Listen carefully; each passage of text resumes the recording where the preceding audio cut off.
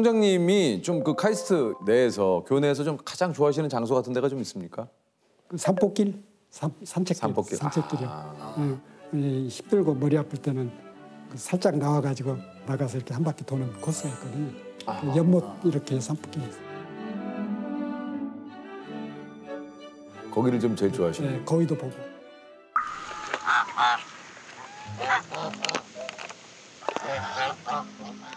이 거위를 총장님이 처음 기르셨다 그래요? 예. 저는 사실 그때 카이스트 학교 갔을 때 거위가 있길래 이거 어떻게 여기 있을까 했더니 총장님께서 이렇게 오!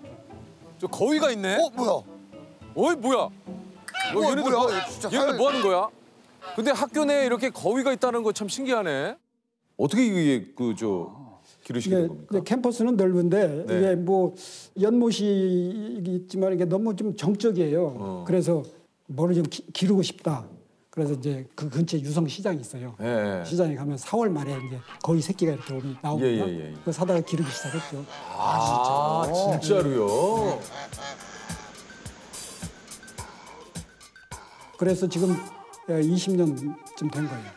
이, 이게 이게 아, 요, 얘가 어떻게 까 여기까지 왔어요? 예.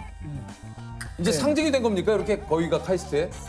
어, 학생들이 그래요. 그 카이스트에는 그 서열 1위가 거이고 예. 그 학교 안에 이렇게 횡단보도가 있거든요. 예, 맞아요, 맞아요. 예, 그 횡단보도에 거위가 지나가는 이제 그, 그 사인이 있어요.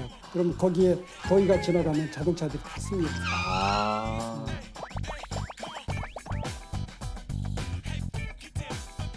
그 처음에는 처음에 거위 키운다고 했을 때 학교 측에서 반응이 어땠었어요? 이 얘기 안 했죠? 얘기 안 하고 그냥 키우셨어요? 아 얘기를 안 하셨구나. 이 얘기 하면은 보나마나 못하게 할 거 아니에요. 근데 학교에서 막 그 얘기 하지 않았어요? 우리 학교에 거위가 돌아다닌다는데 그거 어디서 온 겁니까? 이런 얘기 교수회의에서나 이런 데 얘기 안 했어요? 에, 어디서 거위가 왔냐고 하면 저 가만히 있었죠. 저 모르죠? 예. 그리고 또 어떤 때는 거위가 이제 부활을 많이 해서 막 열댓 마리, 스무 마리까지 막 늘었어요. 예. 그러면은 얘들이 그 연못을 너무 많이 해서 이제 오염이 된다고. 그래서 제가 경고도 받았어요. 개체 수를 좀 조절해 주세요. 그래서 지금 그 부활을 예, 알을 품고 있는데 네. 아, 새 생명이 태어나면 얼마나 좋을까 막 이런 생각하면서도 저한테 뭐 그 탓하는 사람이 생길까 봐 조금은 걱정이 됩니다. 개체수 때문에 좀 약간 세- 그러니까 아 이게 또 좀 학교 외- 업무 외에도 거위 개체수 때문에도 신경을 좀 많이 쓰셔야 되네요. 예. 예.